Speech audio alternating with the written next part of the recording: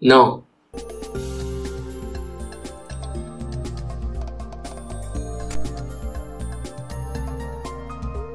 In MapleStory, there is a concept called Starforce transferring. This is largely relevant to the reboot server, the most popular server, especially given the recent protests. Transferring allows you to maintain the Starforce level to a significant extent.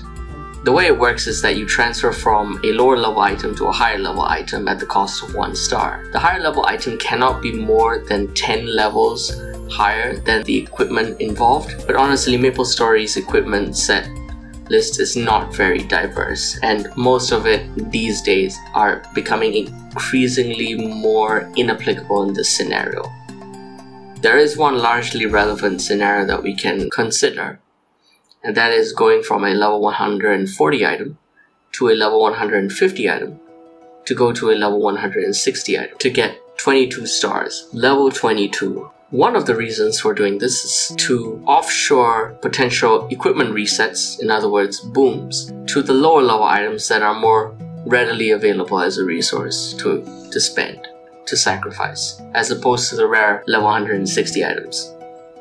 Specifically, Kana rings are relatively expendable compared to a slime ring generally. So therefore, what players often do is they take the level 140 Kana ring the 21 stars, transfer it over to a superior Gollux ring that is level 150. That 21 star enhancement that was originally in the Kana ring gets degraded to a level 20 enhancement on the superior Gollux ring. The player then enhances it to 21, hopefully, and transfers it again to the slime ring, where it will drop again to 20 stars, and then they go through the procedure of star forcing it up to 22 stars. The main fixation on level 21 is that level 5, 10, 15, and 20 are always lock levels where you cannot fall upon failure.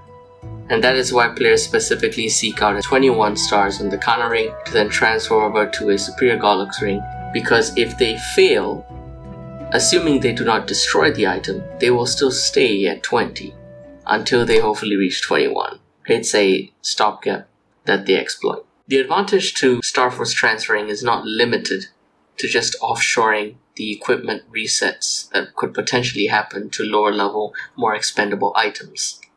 Logically, it should be reducing the cost of Starforcing.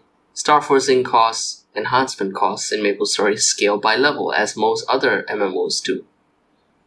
So therefore, if most of your enhancement is done on a lower level item, it would stand to reason that the overall cost of enhancement has decreased because I spent most of my levels, most of my enhancements on a lower level item prior to transferring. Is that really true? Up till recently, we have been using the letter H to denote that upon equipment reset, the seed is to continue enhancing the item that has been reset to a 12 star. In this transferring scenario, however, if the equipment reset occurs on one of the later sets of equipment, either the Superior Gollux ring, which is at level 150, or the Slime ring at level 160, the code needs to roll back all the way to the very first level, presumably on the level 140 item.